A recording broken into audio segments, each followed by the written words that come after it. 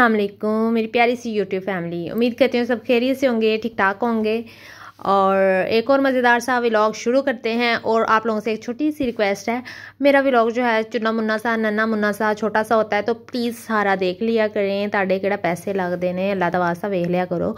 नहीं। ताकि कम वक्त वॉच टाइम जो है वो पूरा हो सके। पता नहीं की मसला है, मेरी कोई वीडियो क्यों नहीं वायरल होंगी सारो चलिया कम कर दें अच्छा ये मेरा क्यूट सा नेफ्यू आया हुआ है जैन का भैया सो रहा है तो इसका भी मैंने क्लिप ले लिया, मुझे माशाल्लाह इतना प्यार आ रहा था क्यूट लग रहा था।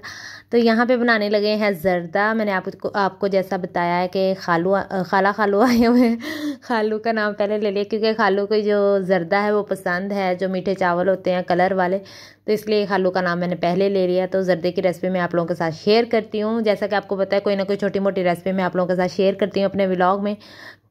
तो सबसे पहले चावलों को अच्छे से साफ़ करके वॉश करके और उसको बॉईल कर लेंगे। कर लो पहले। बॉईल करके आपने चावलों की एक कनी जो है वो खड़ी रखनी है ताकि जब हमने इसको पकाना है दोबारा देने के दम देना है तो ज़्यादा गल ना जाए। जर्दा हो या मतंजन हो ये देसी घी में ज़्यादा अच्छे लगते हैं तो देसी घी में ही इसको बनाएँ। देसी घी डाला है एक दो इलायची तोड़ के डाली है। तो ये बॉईल किए हुए चावल जब स्टेन किए थे तो स्टेन करने के बाद उसी के अंदर एक कप जो है वो चीनी डाल दी थी, डाल के मिक्स कर दिया था। और पतीली में देसी घी जो है, इलायची डाल के गर्म हो रहा था, उसी में चीनी वाले चावल जो है मिक्स कर दिए हैं और कवर कर दिया जैसे ही चीनी जो है वो ड्राई हो जाएगी अब्जॉर्व हो जाएगी तो फिर हमने इसके अंदर कलर डालना है ड्राई फ्रूट वगैरह डालने हैं और फिर इसको दम पे रख देना है।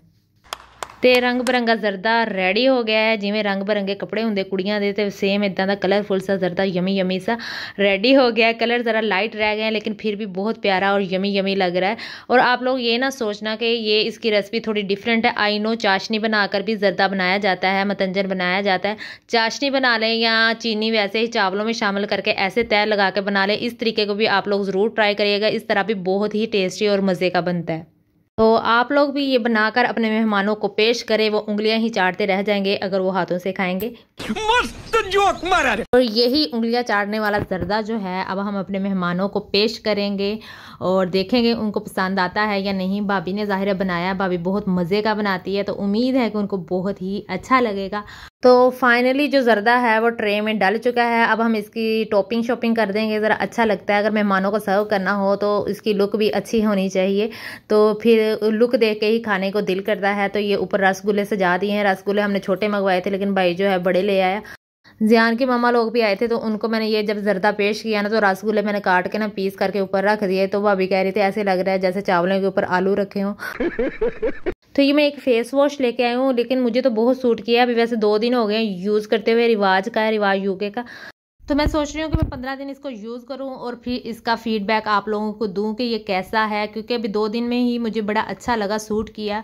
और जिन लोगों की स्किन मेरी टाइप की है, मेरी तरह की है, और फिर वो लोग यूज़ कर सकते हैं।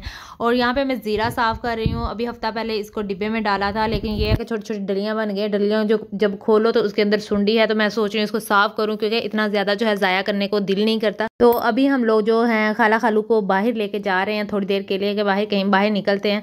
तो घर में बैठ के वो भी बेचारे बोर हो गए थे, क्योंकि मेरे बाबा जो हैं, वो भी गए हुए हैं। और गपशप करने के लिए भी कोई नहीं है। मैं और छोटी भाभी होती हैं तो हम लोग कितनी ही बातें करें, बातें ही मुक जाती हैं तो फिर हम लोग यहाँ पे होटल पे आए हैं। हमारा इरादा था डेरा होटल जाने का, लेकिन हम लोग नमक होटल आ गए। आई थिंक कोई मैचेस वगैरह चाह रहे हैं, काफ़ी स्टेडियम वाली साइड पर जो डेरा है, वहाँ पर जाने का इरादा था, लेकिन जो है वो रास्ता जो था, वो बंद था। यहाँ पे हल्की फुल्की भूख में हल्का फुल्का पापड़ और भूख बहुत ज़्यादा लगी हुई थी तो भाई भाई ज़रा बाहर एटीएम पे गया था तो फिर उसने पापड़ उठा के ले आया क्योंकि ये कढ़ाई बन, बनते हुए आधा घंटा लग जाता है आधा पौना घंटा तो हम लोगों ने तब तक पापड़ खाए। और यहाँ नमक होटल का वैसे लास्ट टाइम हमारा एक्सपीरियंस बहुत अच्छा अच्छा था लेकिन इस दफ़ा मटन हमने मटन हाफ़ कढ़ाई कराई थी लेकिन इतनी बद जायका और ऐसे लग रहा था जैसे पहले का गोश्त बड़ा हो तो उसी को उन्होंने गर्म करके दे दिया हो और वापसी फिर हमने मुँह का जायका ठीक करने के लिए आइसक्रीम खाई। लेकिन यह कि नमक होटल के नान बस अच्छे थे। तो यही था आज का छोटा सा व्लॉग उम्मीद करती हूँ अच्छा लगा होगा। अच्छा लगा तो लाइक कर दें शेयर भी किया करें और जो न्यू है काइंडली वो मेरे चैनल को सब्सक्राइब कर दें और बेल आइकन पर लाजमी क्लिक कर लिया करें ताकि मजीद आने वाले व्लॉग्स का नोटिफिकेशन आप लोगों को मिल सके और आप लोग देख सकें इन्जॉय कर सकें। मिलते हैं नेक्स्ट व्लॉग में। अल्लाह हाफिज़।